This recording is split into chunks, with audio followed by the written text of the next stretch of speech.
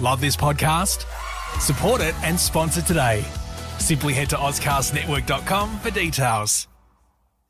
Davo, Tom, and Callum here for the podcast, which means we've got a little bit of exclusive content we like to do before we get into what happened on the show. Yeah, it's quite nice to be able to relax and not worry about these radio rules and, uh, yeah, really kick back and get a little bit cheeky. And one thing we do get while we're on the show, we have a text line, right? Obviously, we ask you to text in. Yeah. And it's basically a website and it pops up every time you text in, we can see them straight away. And most of the time, they're pretty good, pretty fun. We can read them out on air. But every now and then, we get a text that will just take our breath away. Yeah, I'd say about one in five. Yeah. One in five or so would Yeah, be and- something and- that's a bit dicey. And it really varies. Sometimes they're just crook and disgusting. Yeah.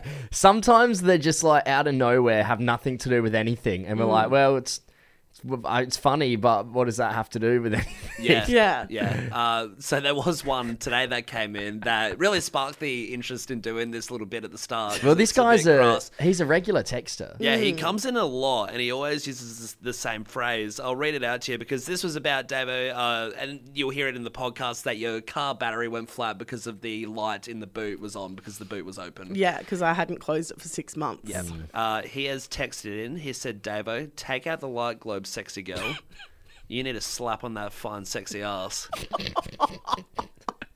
And that's not even the most crass text I've seen from this guy. No, I I didn't even have to look at his number to know it's him because he has a trademark calling card of being like sexy girl. Yeah. See, I don't understand though. I feel like on air, I don't give off a sexy aura. There's not one. My name is Davo. First of all, I Uh, get called fella by every caller that rings up. I mean, a bit of a spoiler alert towards that segment, but it, we were talking about how messy your car was in general. Disgusting, yeah, yeah. full of rubbish.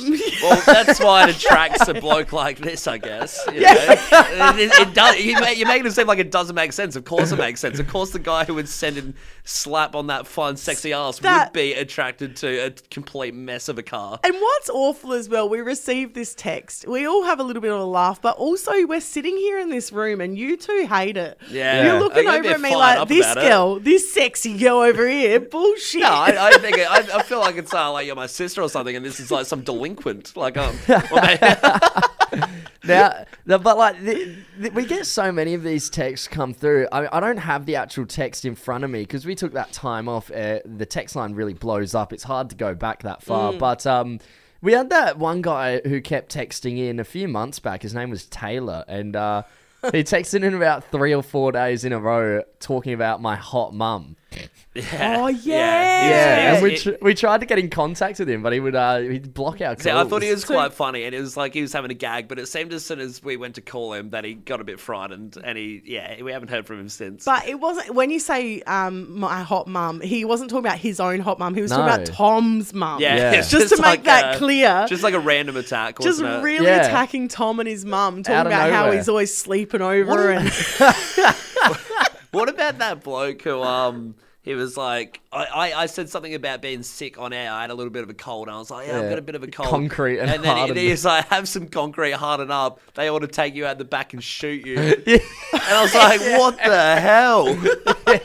But do you know what? We do adore these texts. Oh, absolutely. it makes the day, doesn't it? I mean, one of the texts that is less crass and just a bit more like, what the hell? It came in yesterday, and somebody just texted in saying, morning discussion who wins in a fight oh, to the death, Tom or Callum? Secret intel I have tells me Tom's unspoken elite martial arts skills, so my money is on him. You just have no idea though whether one of us has said something to this person on a night out we don't remember, or you know. do, do we want to talk about that text though? If there was a fight to the death between the two of you, Uh, I because I, have my own theory. I did taekwondo when I was seven, and I wasn't Okay. elite at it. What's And, uh, your- I would No go. I would go dirty with the barbed wire and Yeah, he'd Oh, pull hair. Yeah. I my, go, go with the nails. do you want to know my theory? Yeah, yeah, go on. Right, so I do think that Tom would win purely because I feel like you would just be like, ah, chill. I don't, yeah, I don't care. This is boring. I get bored of it after a minute. Yeah, but so would I.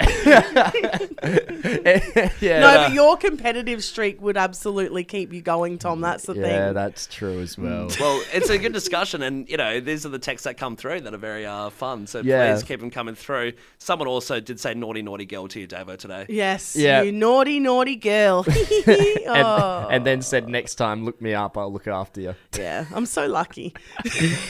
I guess uh, the next time we have a bunch of crass texts come through, we can revisit this. Oh, please, it's great fun. you and Davo, Tom, and Callum, guys, let's get into the podcast. You're listening to Davo, Tom, and Callum, the podcast.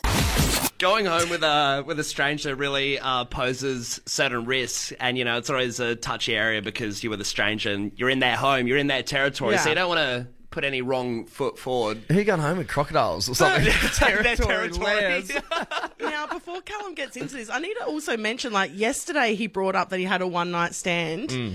And today he's bringing it up yet again. You can't Yeah, you yeah. can't throw yeah, that we're going to hear about this for about a month. I, Oh, I yeah. specifically didn't really want to talk boy. about it, and it's um and it's came about because it's an interesting story, and you begged me to come on and tell it. I remember it differently.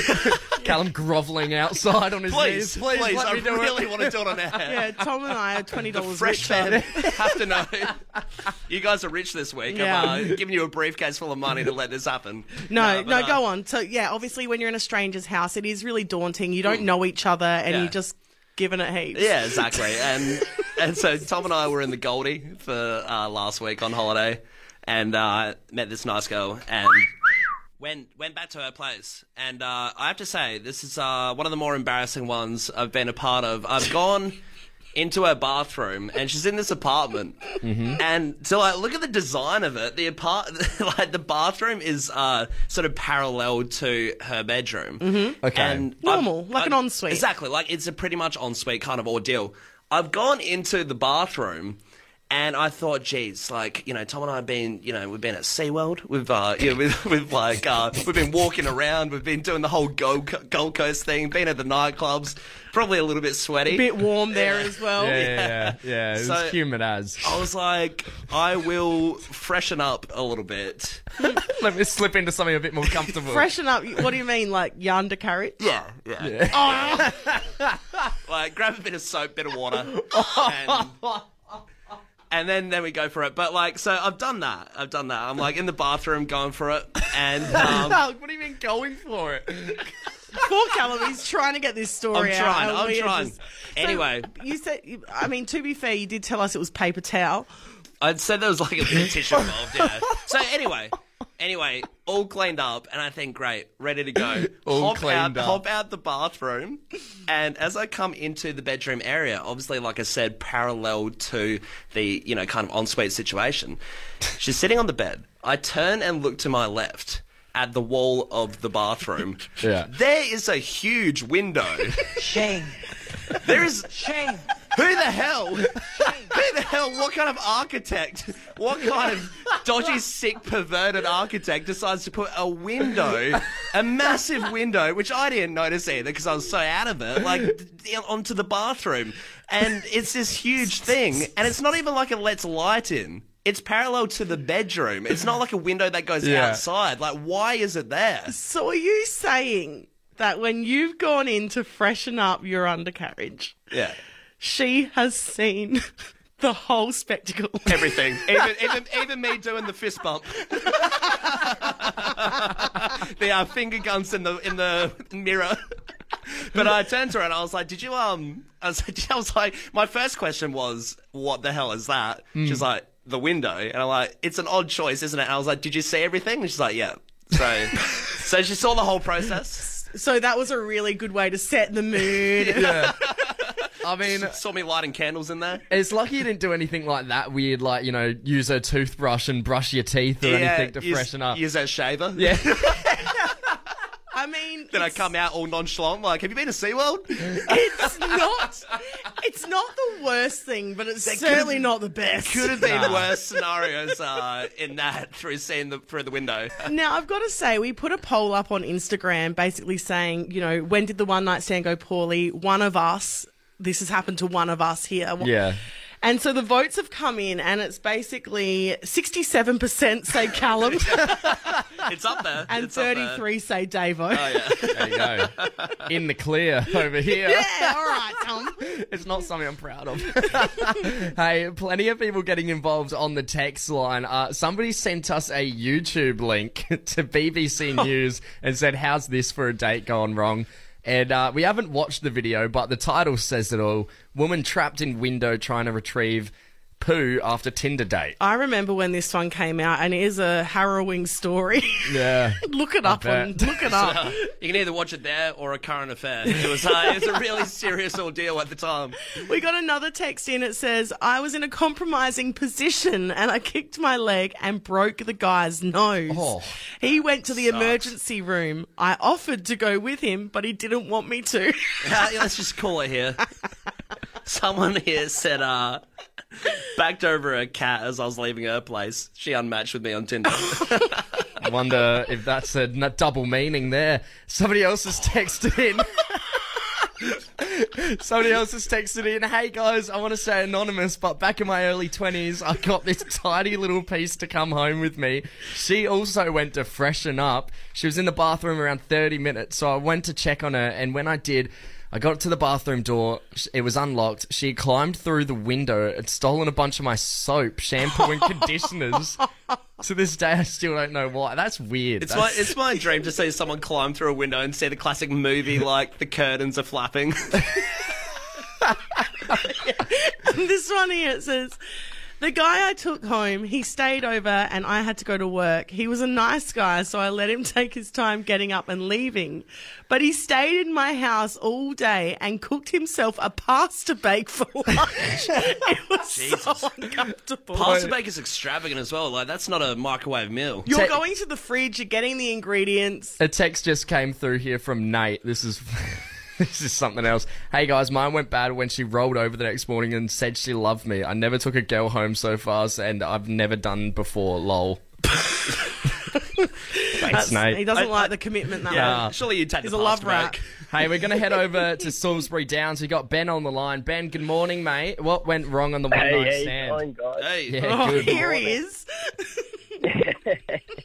Having a good morning, lads? Yeah, Good, good. absolutely. Are you? That's it. Oh, yeah, it could be better. It could be better. Just off the Ben, I get quite offended when you when you callers ring up and address us as lads. I apologise. I apologise. give us the lowdown. What happened?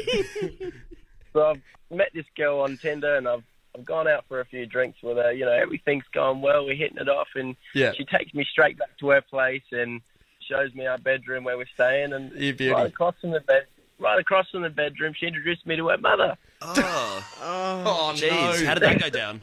Um, I was extremely weirded out at first. Don't get me wrong, but we were both fairly tipsy, so I got to say, like the deed was done. Ben, it's a it's a it's a cost of living crisis. We're all living with our parents a little bit later What did, in life. what did the mum That's think of right, you? Did, right. did you get the uh, the approval from the mum?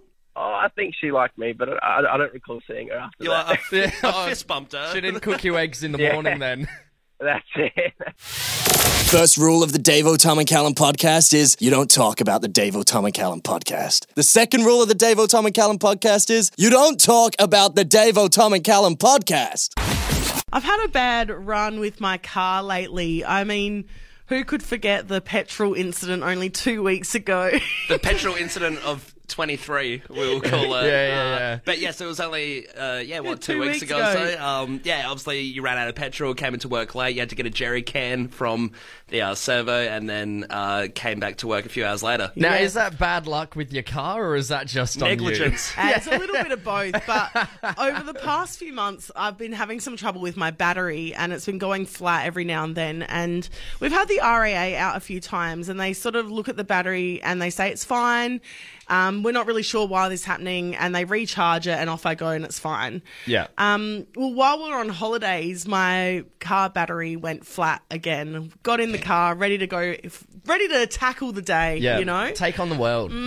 and nothing. So, look, my mum came to the rescue, Irene, and it's a bit cheeky because we used her RAA. She Oh, would be so angry at me saying this on air. Yeah, I'm glad you're admitting it to live radio. Well, the thing is, is you know, obviously we used hers because I'm a 32 year old woman who let the payment lapse. Yeah. well, Not the first your mum's time you've more done that. established, I guess. You know, Yeah, she has, yeah. you know. Been in the system longer. yeah, she, Yeah. she's seen it all. she's friends with the Energizer Bunny. They Yeah. hang out. So anyway, the RAA bloke rocks up and he says the same thing. He's like, the battery should be fine, but he did some further inspections. So. Uh, he sort of opens my boot and it is full of rubbish. Shame. Shame. Like rubbish, crap, Like, what, everything. what kind of rubbish? Are we talking like Macca's. Yeah. Or, yeah. Uh, food? Yeah. Food, crap, like just anything. Uh, Like when the rubbish won't fit in your back seat anymore, you transfer it to the boot. Yes. Because who needs a bin? Yeah. And usually I would be mortified by this. You know, I would be Yeah. horrendously red faced. Oh my gosh, I'm so sorry. Let me clean this. But Don't tell me you just don't care anymore. no, I've given up. There's a big wheel of Gouda. I've been in there for months. There's a possum in there. But no, I oh, That's was, Steve. We're mates now. no, I was sitting pretty inside because my mum had to claim that the car was her own. Oh, So okay. Bit of a loophole. So my mum, Irene, is outside. I'm watching her from inside. I can see her face. She is seething. Well, because of course, of course, your mum Irene then has to, you know, she's doing this loophole. She has to claim that the car's hers. So how is she going about, you know, facing all the rubbish and trying to, you know, she has to pretend that's all her wrongdoings. Yeah, exactly. So she's sort of going, "Oh, um, sorry, I'll just grab that." She's clearing out my rubbish. I'm Yeah. watching her from inside like an absolute asshole. And then look, the guy goes, "Hey, so the reason your boot, your the reason why your battery keeps going flat." Is because you've broken the boot latch and the light Oh, keeps okay. draining Yeah. your battery. Ah. Yep, that'll But do it. that happened about six months ago. So how and and, and your battery's gone how many times? Like six. Like, there you go. It adds up. It adds It's up. all my fault. You're listening to Davo, Tom, and Callum, the podcast. I found this little article, right? oh, It's over in England, and it's about these urban explorers. You know, they're you, you you see these urban explorers everywhere. They basically go into like the tunnels, the catacombs, like abandoned warehouses around cities. There's, mm-hmm. I know, there's a uh, Adelaide page of these people that go into the tunnels under the city. I think it's called like Jim's Urbex Explorers or something Ooh. on Instagram. Sounds like you know a lot about it. Yeah.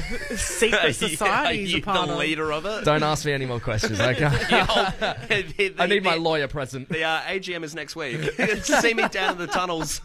But no, these urban explorers over in England, uh, while they were exploring, came across a secret rave taking place in an underground nuclear bunker. Wow. Hey, look out. Yeah, Party time. So as they're exploring, they just start hearing this like doof doof doof doof like house music pumping through the walls. They're what- Geez, either there's a bomb that hasn't gone off and it's just ticking, or uh, it's uh, Well, it's a Fisher's rave. latest track. Yeah, yeah.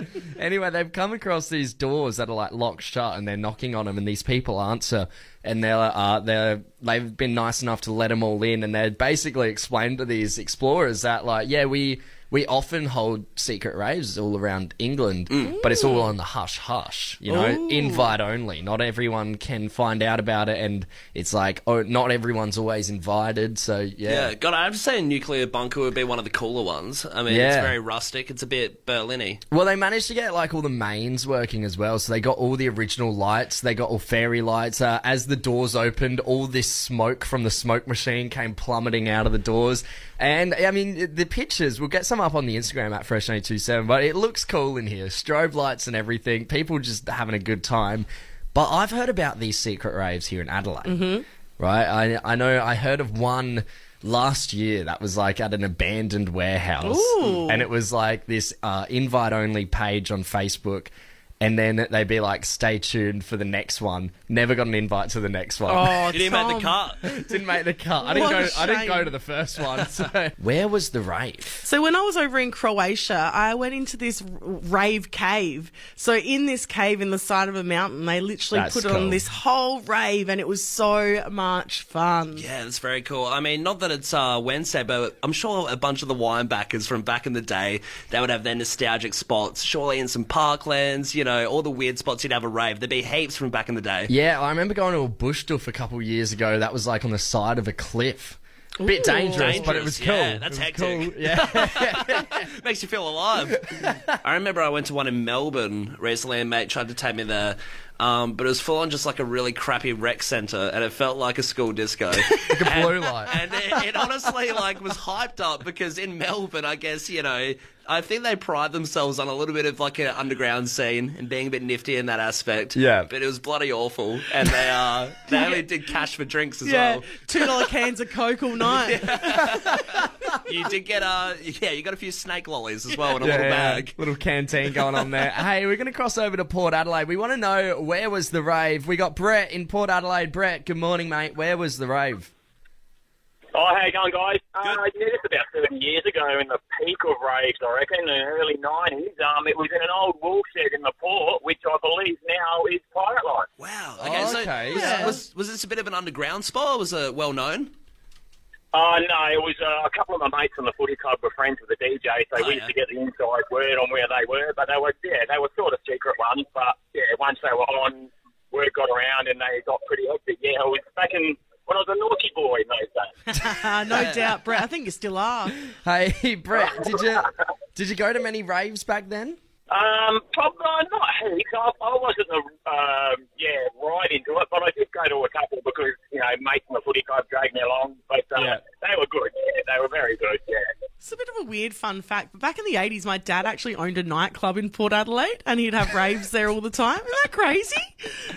A secret secret why are we- life. why are we just hearing about Yeah, this? I don't know. It just it triggered a memory. How, how long did he own it for? Uh, only a couple of years. It sent Right. him bankrupt. Yeah.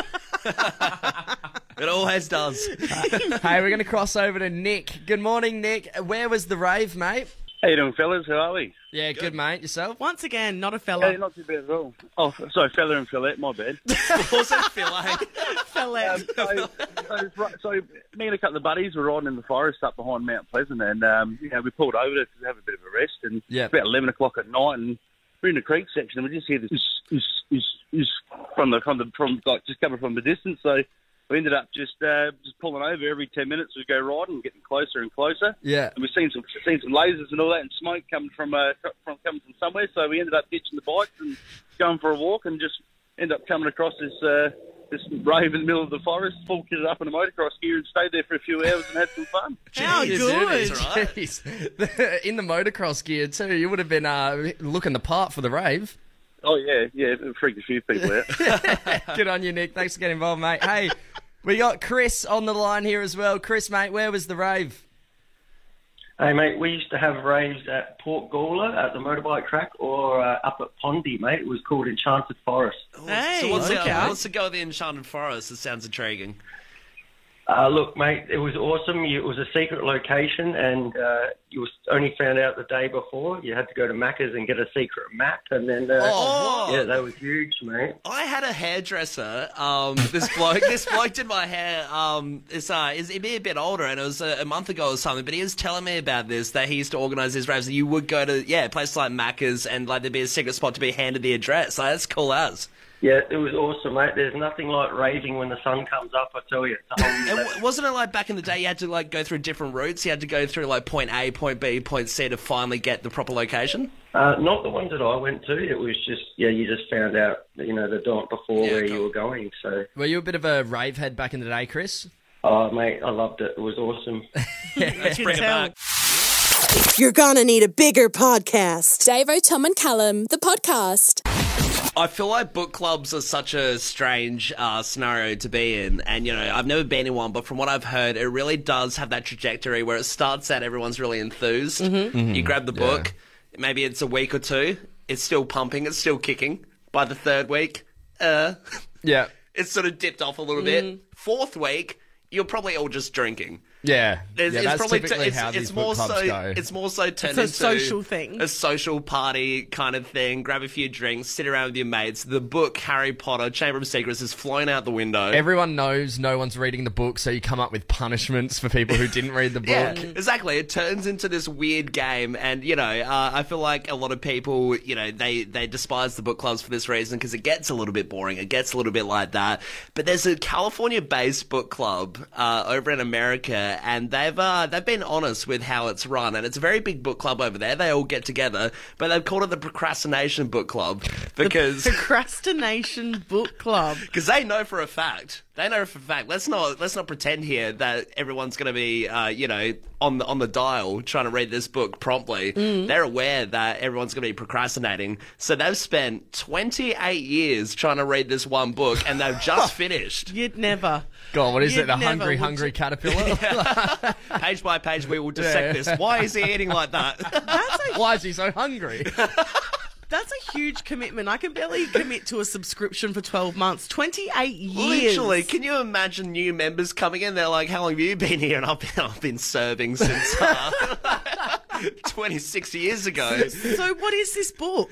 It's uh, it's called Finnegans Wake by James Joyce, and uh, it is a Penguin classic. It is uh, a classic piece of literature, but it is known for its uh, experimental language that's really hard to dissect. Okay. Yeah, okay, like a Clockwork Orange. sort yeah, vibe. yeah, I guess that has its own kind of language going Yeah. on in it, but like way more confusing, I'd say. Do you Um, have a snippet there? yeah, so apparently they've been spending like two hours per page analysing it. That's why it's Oh. taken so long. And of of course, I guess they have Oh. holidays and whatever going on. Sounds like my worst nightmare. Just sitting there Like- stuck on one page. Who on earth?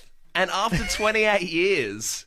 Surely at that point you just read the first, last page and the blurb and hope for the best. Is there, take- there a made to movie? Take a stab. There's, uh, I'll read a page for you. Rockbound, hoa hoa hoa. In a swim swam swum all the libby long night. The Del Del dappling night, the night of blue, blueberry bells, her flitchitoot in a tricky trotches. Oh, Katerina, Katerina. I'm Um, so- concerned he did that off the top of his head. He wasn't reading yeah, anything. I know. that's an original Speak- piece. Speaking in tongues. You're listening to Davo, Tom and Callum, the podcast.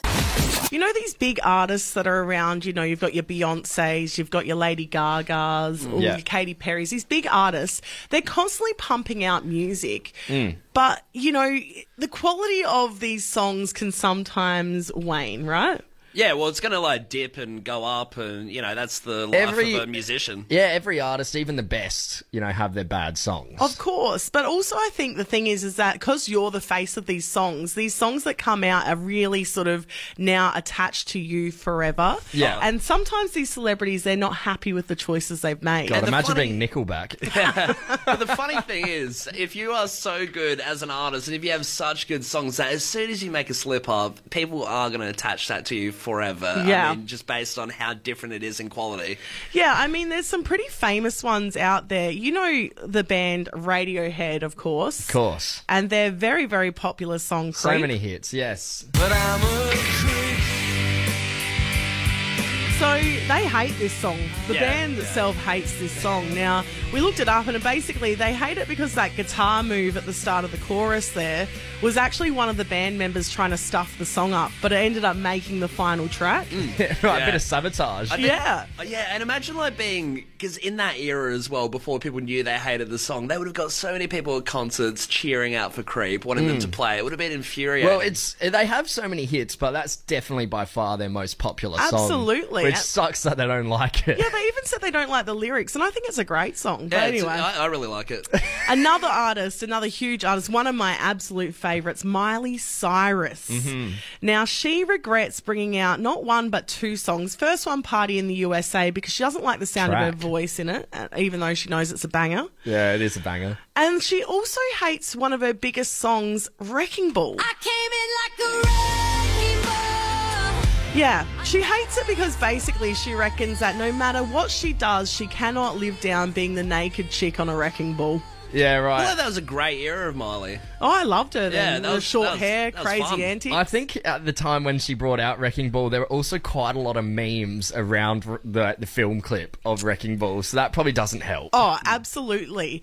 And now the latest star to come out and say they absolutely regret one of their songs is Pink. Now, look, to be honest, I'd say there's a few songs that she could regret. I wouldn't go that far. I, All think, right. I think Pink's a bit of a rock star, but We'll get into that. I vouch for her. but she's come out and she says that she release she she regrets releasing a song for the SpongeBob SquarePants movie, and it's called "We've Got Scurvy." One, two, three, four. Our gums are black, our teeth are falling out. Oh. We got spots on our back, so give it up and shout. I'm cringing. We got scurvy, we need some vitamin C. We got scurvy, we need a lemon tree. We got scurvy, we just chilling on the sea. Yeah, that's awful.